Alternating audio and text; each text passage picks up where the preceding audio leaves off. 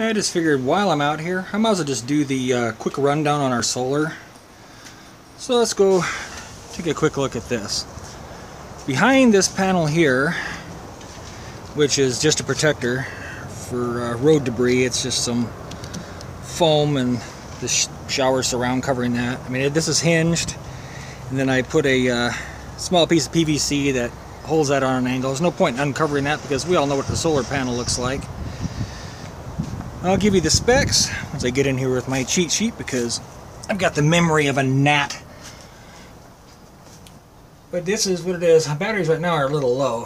25.3. Yeah. These two wires here that are dangling, it's probably hard to see in here, those are what I use to charge when this thing's in the garage. Batteries get low, I just use an AC charger. This dimmer here runs to the interior light because of the way it's facing. It's right in your face, and that little sucker's bright. But I can dim that way down.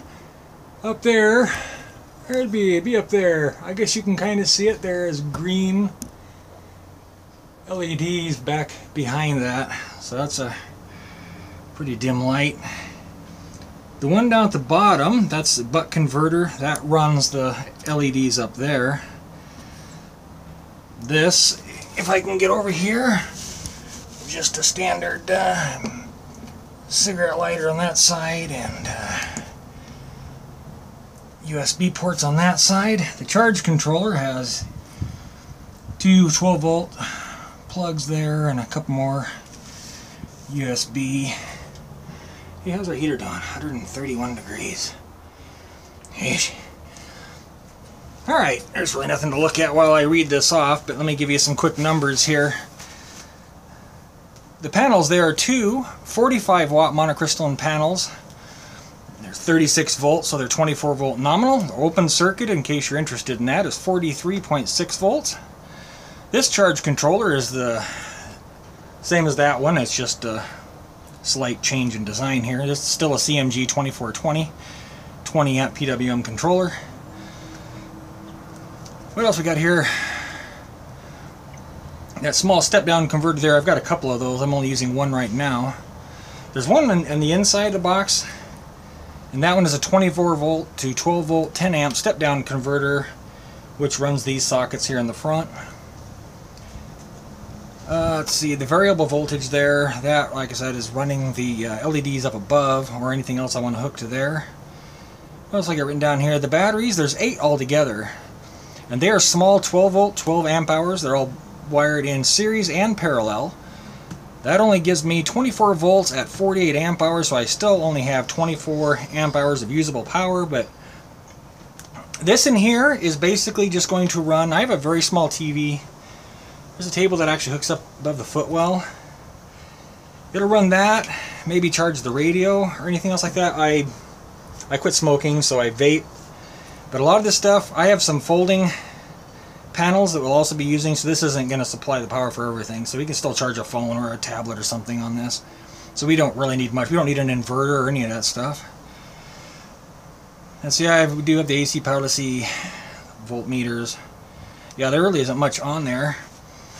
And I got another 24 volt. The switch here is a small 24 volt van, fan there. I may not leave that on. I put that on first and then we went out and got this. We used this during Hurricane Irma, and that little sucker will run all night long and then still have battery power left, so we're probably just going to use that.